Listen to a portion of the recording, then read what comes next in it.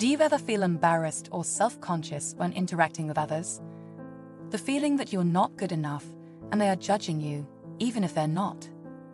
Do you worry sometimes more than necessary about what people think of you and find yourself imagining negative scenarios occurring in your interaction with them? These days, people often struggle with social anxiety and shyness. The latter is a tendency to be nervous or uncomfortable around other people, while the former is a fear of being around people in general.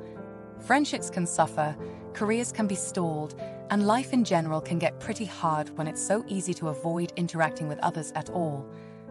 Want to know how to overcome these feelings? In this video, we'll talk about some ways you might overcome these quite common problems. What is shyness and social anxiety? Shyness and social anxiety are often confused with one another. Shyness is the feeling of apprehension, embarrassment, or shame that most people experience when they are in a social situation. It can be characterized by feelings of fear, worry, or concern about one's self presentation to others. Shyness may also be seen as a personality trait that has a variety of causes, ranging from personal experiences and upbringing to cognitive biases. Shyness is usually considered an undesirable state because it can make it difficult for people to form meaningful relationships or take risks in life.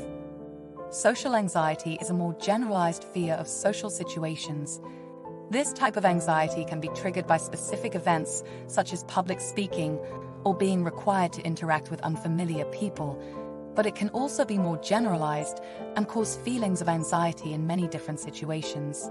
Social anxiety is a more intense form of shyness that can cause sufferers to avoid social interactions altogether. The intense fear and discomfort experienced by those with social anxiety can lead to panic attacks, depression, and other mental illnesses. The difference between shyness and social anxiety is that shyness often is associated with the anticipation or experience of negative evaluation, whereas social anxiety is associated with more significant fears of embarrassment, humiliation, and slash or rejection that lead to avoidance. What causes shyness? There is no clear-cut answer for the causes of shyness, but there are many factors that may contribute to it, there are also many professionals who help with treatment options. Some people may be genetically predisposed to shyness because of a family history or health condition, such as low thyroid levels. Others may have been bullied in the past and are recovering from the consequences of this experience. Some may have been rejected by their peers for a reason and feel unsafe. Many more children may be feeling the pressure of what we call the school system and how it is designed to create performance through high stakes testing. Overcoming shyness and social anxiety. Shyness and social anxiety are common phenomena. Some people are so shy that they can't hold a conversation with a stranger, let alone talk to someone they like. The human brain is wired in such a way that it uses the amygdala to do the heavy lifting when it comes to processing emotions which can make it hard for shy or socially anxious people to feel comfortable and confident around others. Many people who suffer from social anxiety and shyness often stay in the background, feeling that their contributions are not valued. They may be afraid of being judged or embarrassed by others. The good news is that there are many ways you can overcome shyness and social anxiety. The first step to overcoming shyness and social anxiety is to accept that you are feeling this way.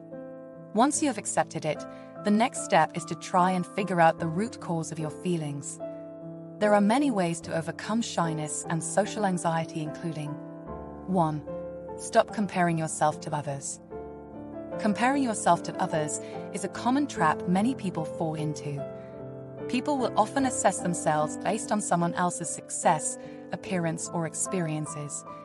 There is no one else in the world who has your thoughts and feelings, you are different from everyone else. 2. Practicing public speaking is another way.